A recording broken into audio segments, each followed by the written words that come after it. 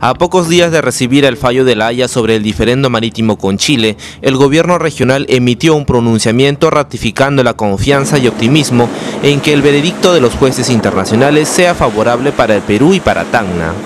El documento tiene como fecha de envío el 10 de junio al primer mandatario de la República y cuenta con la rúbrica de autoridades municipales e instituciones patrióticas.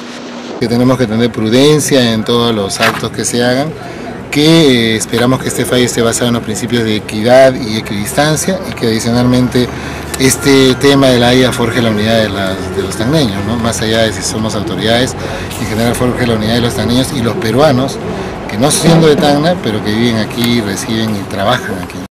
El documento hace referencia además en uno de sus puntos que Tacna respetará la decisión de la Corte Internacional de la Haya, manteniendo la unidad de sus autoridades. Por su parte, el alcalde Fidel Carita no firmó este documento por encontrar algunas observaciones. El vicepresidente regional Frankie Kwon señaló que respetará la acción del alcalde en querer aclarar algunos puntos.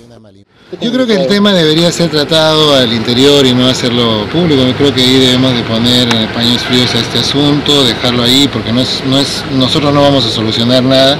Al contrario, podríamos este, generar algunos este, desencuentros y que no podrían perjudicar en algún momento el mismo proceso. Así que creo que es mejor dejarlo ahí.